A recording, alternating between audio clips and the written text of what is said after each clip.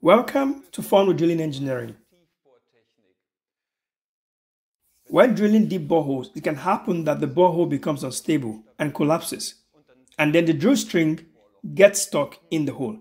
In that case, you can be happy if you have drilling jars installed in your drill string. The function of a jar is a bit difficult to explain, but today we will try. If you look at the outer parts of the drilling jar, you will recognize the outer tube, the housing, the outer tube is filled with oil. In the outer tube, we also find a smaller anvil built into it. Below the anvil, there's also a restrictor sleeve. These are the outer parts of the jar. But there are also some inner parts, which comprise of a hammer and a shaft. You can see it here behind me now. If we look at the entire assembly, we notice that the hammer with the shaft is placed in the housing in such a way that the hammer is located in the restrictor sleeve. The picture on the left, as you can see, is just a rough sketch, which is used to explain the working principle. A real jar looks like the tool that you can see in the middle. The drilling jar is placed in the drill string somewhere in the upper half of the drill collars, as you can see here. Under normal drilling conditions, you don't need the jars. But should your drill string get stuck for any reason in your borehole, then the jar will be very useful to free the string again. First, you have to unlock the jar somehow by mechanical or hydraulic means. Yes.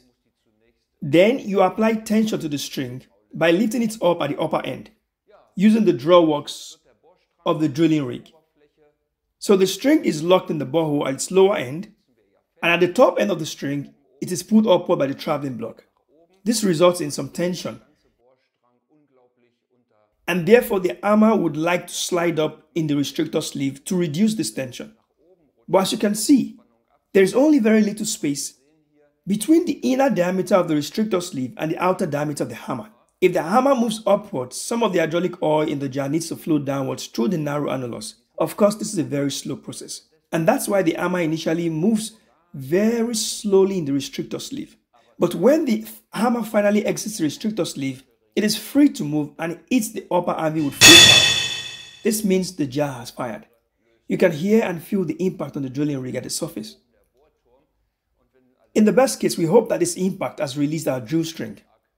Otherwise, you have to close the jar and fire it again. Jars can fire upwards or downwards, but I don't want to go into that now. But you can see the process of firing once more in this animation here.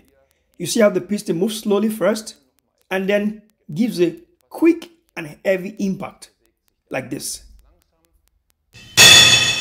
Of course, everybody is happy if the drill string is released and the drilling can be continued.